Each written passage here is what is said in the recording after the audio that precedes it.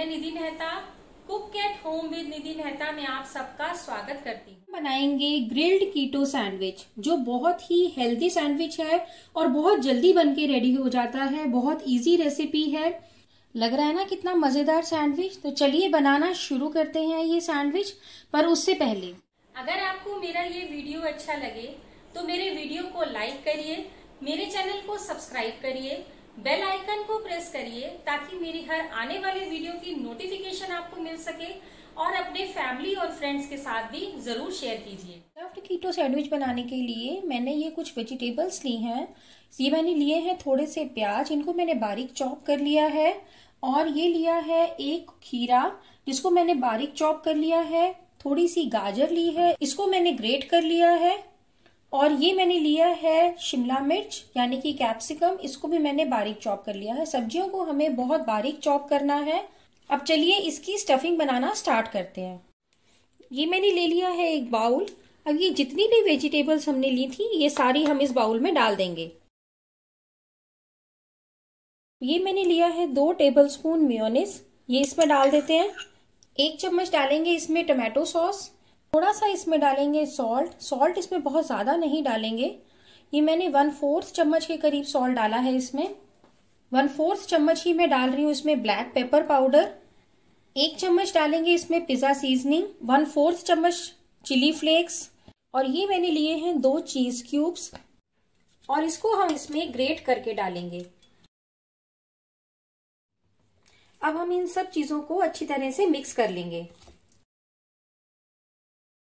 ये स्टफिंग हमारी बन के रेडी है। चलिए अब नेक्स्ट प्रोसेस की तरफ़ चलते हैं। ये मैंने लिया है 500 ग्राम पनीर। अब हमें क्या करना है? हमें इसके पीसेस करने हैं। थोड़े थिक पीसेस करेंगे, बहुत पतले पीसेस नहीं करेंगे, क्योंकि हम कोई ब्रेड यूज़ नहीं कर रहे हैं, इसी में हम स्टफिंग भरेंगे। तो अगर हम पतला पीस कर देंगे पनीर का तो वो सैंडविच हमारा जो है वो टूट भी सकता है। ये मैंने पनीर के पीसेस कर इस पे स्टफिंग वाले मटेरियल की इस तरह से लेयर लगा देंगे। और इसके ऊपर हम दूसरा स्लाइस रखेंगे। इसी तरह से ये दूसरा भी रेडी कर लेते हैं। आज हम इसका ग्रिल सैंडविच बना रहे हैं तो ये मैंने ग्रिल पैन ले लिया है। इस पे लगाएँगे हम थोड़ा सा बटर आप बटर या घी कुछ भी लगा सकते हैं। और अगर आपके पास ग्रिल पैन नहीं है तो आप इसको नॉनस्टिक पैन पे भी बना सकते हैं। और ये सैंडविच को हम इस पे रखेंगे। गैस को मैंने ऑन कर दिया था और पैन को मैंने थोड़ा सा गर्म कर लिया था। इसको हमें मीडियम आँच पे ग्रिल करना है। तीन मिनट हमने एक साइड से ग्रिल कर लिया है। अब हम इस साइड पे भी बटर लगा देंगे हल्का सा और इसको पलट देंगे। ये देखिए कितना बढ़िया लग रहा है, कितना बढ़िया ग्रिल हुआ है ये। अब इसी तरह से हम दूसरी साइड से भी इसको ग्रिल कर लेंगे। ये देखिए, दूसरी साइड से भी बढ़िया सा ग्रिल हो गया है।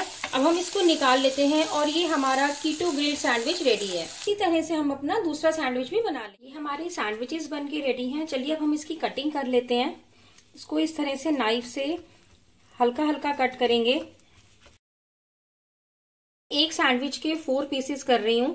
प्लेटिंग करने से पहले इस पर डाल देंगे थोड़ी सी पिज्जा सीजनिंग इससे इसका फ्लेवर और भी इनहेंस हो जाएगा। आप भी मेरी इस रेसिपी से एक बार ये कीटो सैंडविच ज़रूर बनाइएगा और मुझे कमेंट बॉक्स में बताइएगा कि आपको मेरा ये सैंडविच क्या जल्द ही एक नई रेसिपी के वीडियो के साथ आपसे फिर मिलूँगी। तब तक take care and bye bye